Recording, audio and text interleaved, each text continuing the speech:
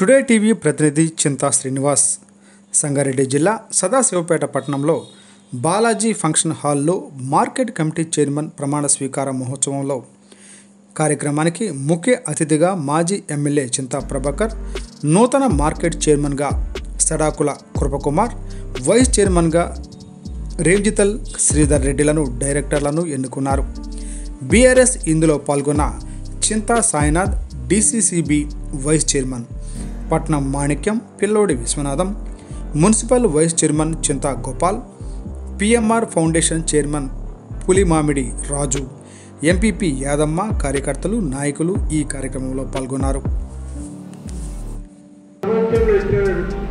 మరి ఇంత మంచి స్కీమ్లు మరి రాష్ట్ర ప్రభుత్వం ఈరోజు రైతులకి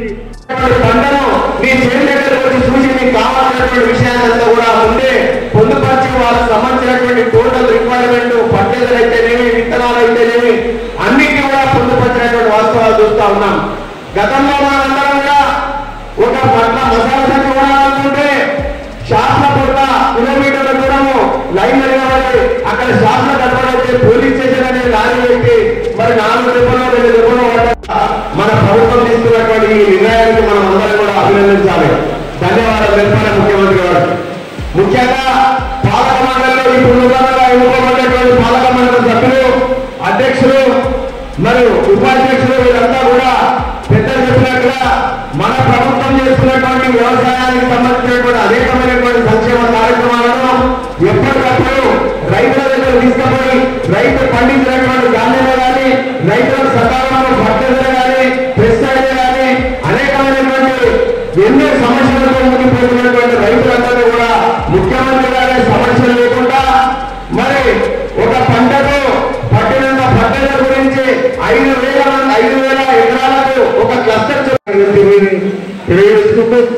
ఈరోజు మీరు పాలకవర్గంగా బాధ్యతలు చేపట్టిన వాళ్ళు రైతులకు ఎటువంటి నష్టం కలగకుండా రైతుల పక్షాన నిలబడి రైతులకు భరోసా కల్పించి వాళ్ళ వాళ్ళకు మేలు చేసే రకంగా ఉండాలని చెప్పని నేను కోరుకుంటూ మరి ట్రేడర్స్ ట్రేడర్స్ కూడా మరి ఇక్కడనే ఉంటారు. వాళ్ళు ఏదైనా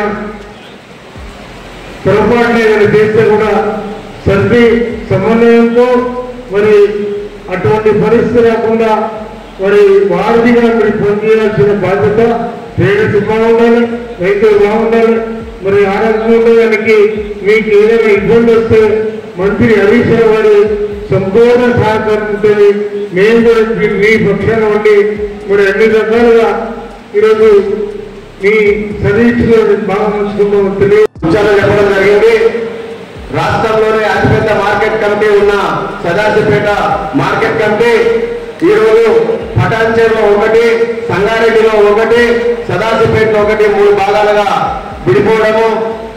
రాజకీయంగా పదవులను అందరికీ పరిపాలన సౌలభ్యం కోసం తీసుకున్నటువంటి ప్రభుత్వ నిర్ణయం. అంతేకాకుండా ఇంతకుముందు ఒక ఫార్వర్డ్ క్లాస్కు మాత్రమే ఓసీలకు మాత్రమే ఉండి అంతా ఏ ఎవరికంటే వాళ్ళను అభి ఏ ఎవరు ఎవరికంటే వాళ్ళను